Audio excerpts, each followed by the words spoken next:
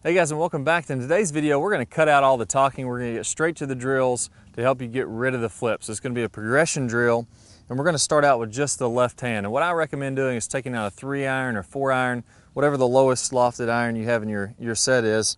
And we're going to start out with just the left hand here. And what I want you to do is I want us to start rolling some balls on the ground. And the way we're going to do this, we're going to de-loft the club so much. If you look at the loft that's on the face, normally my four iron would have 25, 6 degrees, somewhere in that ballpark. I'm gonna turn it down. I'm gonna have enough forward shaft lean at impact to where it has zero degrees of loft. I've taken all the loft off the face here. And I'm gonna go ahead and really bow my left wrist as, to do this. So you notice my hips have to open up a little bit. My chest is gonna be a little bit open or my, my shirt buttons are gonna be a little bit open but because my left arm is protracted across my body, it's gonna give the appearance that my shoulders are pretty square. But if I do that, I can take all the loft off the club and I'm just gonna be able to simply roll some balls across the ground. So there, there was no loft and it never got up in the air at all. What I don't wanna do is to start to hit these shots and get them to go, even if they're a foot or two up in the air like that. So that ball, I got a little bit of scooping with my wrist. This broke down and the ball only went a couple feet in the air but I want to completely keep it on the ground the entire time. So I'm going to probably take, you know, a range bucket, I'm going to make 20 or 30 swings where I'm just letting these balls roll across the ground. Maybe you have to hit 10 or 15 shots until I get comfortable with that. Now the, hard, the part that I find that's hard for most players is to get what feels like a pretty weak position to them. So if I'm de-lofting this club, my left wrist needs to bow a little bit. And what's gonna happen there, these muscles that are on the inside of my, my forearm, those are contracting a little bit, which is pulling the palm of my hand back toward my body. So that's what's called wrist flexion. And that's what's happening as we're coming through impact. And again, we gotta get these hips open to allow us to get in that position to just simply roll the ball across the ground. So once you're comfortable with just the left arm only, it's gonna be difficult. We don't wanna hit these very far. Those are only going about 25, 30 feet. And again, they're not getting up in the air at all. Now let's go to the right hand. So what's happening in the downswing is my left hand creating some lag here. That left wrist stays nice and flat or a little bit bowed at impact, and then it's gonna release to flat out in front. So we're concentrating on getting that bowed as we're coming through impact. Now the right wrist is a little bit more active. It's gonna release a little bit harder. As we're coming into the downswing, that right wrist is gonna be what feels like it's completely angled back. So again, that would be flexion was happening with my left wrist. This would be bowed. We're gonna have that very cupped or extended back. You're gonna feel like you pull your knuckles all the way back to your elbow. And we talked about the muscles on the inside of your arm pulling this left wrist into a bowed position. It's gonna be the muscles on the outside of your arm that pull your knuckles back towards your elbow. So as I'm coming through contact, if I let my hips open up, now I can get into a position to where I'm gonna feel like my right arm's pretty tight. The upper right arm's pretty tight with my chest. Again, my chest is opening up slightly and my right wrist is really angled back as I'm coming through impact. It almost feels like I'm just tossing a ball down the fairway. Now after impact, I can go ahead and let that release. It actually is releasing through impact, but we're exaggerating for this drill. But I'm gonna go ahead and roll some on the ground. Again, these aren't gonna get airborne at all. I'm just gonna roll those across the ground, hit that one a little bit thin. Let's try one more. And I'm just going ahead and letting my, my club brush the turf. So it's almost like you're putting with your three or four iron. So that one was nice and solid and just scooted right up the fairway. So I'm doing the same thing there with my right arm. I'm feeling like it's going from a flex back position. Notice how my elbow is up this way into letting that go as I'm coming through the shot. But I'm not gonna let it add loft as I'm hitting the ball, taking all the loft off the club face. So once I've done each of those arms individually, again, 20, 30 reps with each one, I'm starting to get a feeling for where I would be at contact if I really want to de-loft this a lot. For those of you guys that are casting or flipping early, this is going to feel very different than what you're used to. Now from here, I'm going to put both hands on there. And the key is, in my normal swing, if I'm casting, look at it from this direction, my right wrist is firing early. So this wrist is going flat, and that is what's casting and pushing this club out. I'm feeling like I'm really hammering on it with my hands quite a bit.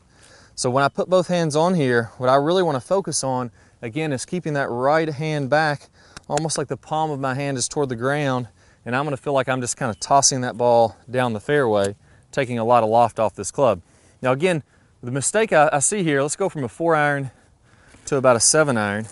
The mistake I see is everybody wants to go all out, full on speed, and hit their seven iron 190 yards, not, not literally, but that's the idea. We're gonna crush this seven iron.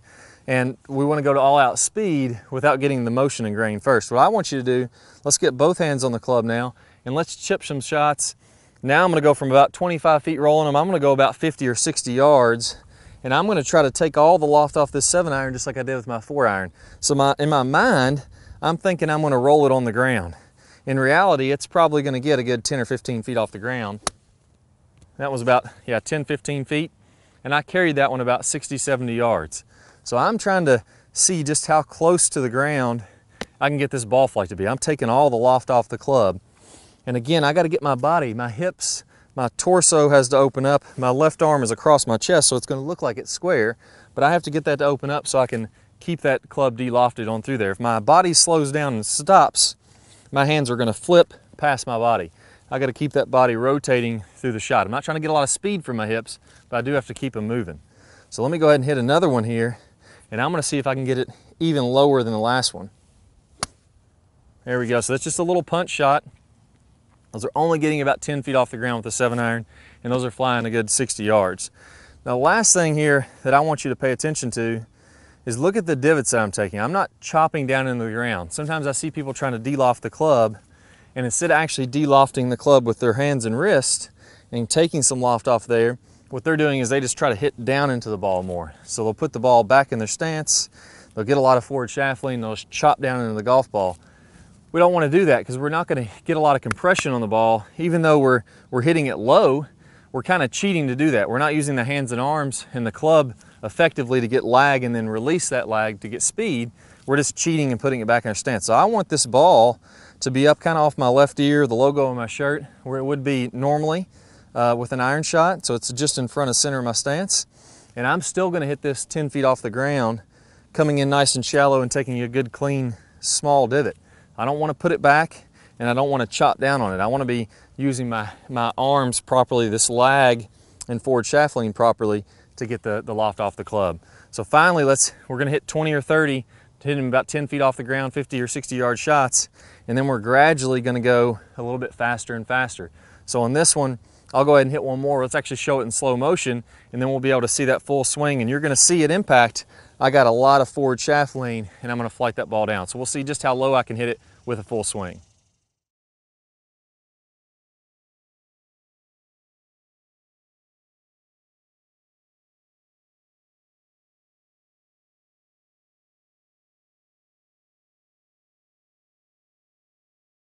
All right, so I hope y'all really enjoyed this video. If you did, I got an awesome bonus for you. Now, one of the most important things we can do in golf, and let's face it, we all want to crank the ball. We want to hit it hard with a lot of power. That's probably the number one thing to improving your golf game that I found. And the best thing to do to improve your speed, your power, is to get a lot more lag in the downswing. So I got a great bonus for you. One of the number one mistakes that I see people make that is really killing their lag. I'm gonna play a preview of that video you want to watch the full thing, all you have to do, if you're on a desktop device, you're on a, on a computer, go ahead and click the link that pops up on your screen. That'll get you instant, instant access to that full video, plus five videos, five bonus videos from our Top Speed Golf system. It's going to walk you through the entire system. And then if you're on a mobile device, a tablet, you're going to go ahead and click on the iCard that's somewhere on the screen right now. Go ahead and click that iCard, click that link. It's going to get you instant access, and I'll see you all in the lag video. Hi guys and welcome back. I'm Clay Ballard and in today's video we're going to talk about one of the absolute worst drills for creating lag. It's a very common drill that I see. And in this drill what we're going to do is we're going to set the wrist very early to create an angle of lag and then we're going to try to hold this throughout the swing. It's one of the worst things that you, can, that you can do to build lag. I'm going to talk about the science behind why this is the case and I'm also going to give you a great drill to help you improve your lag all in this video. Let's go ahead and get if started. I do it this way versus holding that position. Exact same thing happens when we're building the lag in the golf swing. So what we want to do is throughout the swing, I want to have a very low and wide takeaway. So I'm not going to set my wrist early at all. If you look at a lot of the top players, you look at uh, Adam Scott, very wide takeaway, not very much wrist set at all. You look at Rory McIlroy, look at Tiger Woods.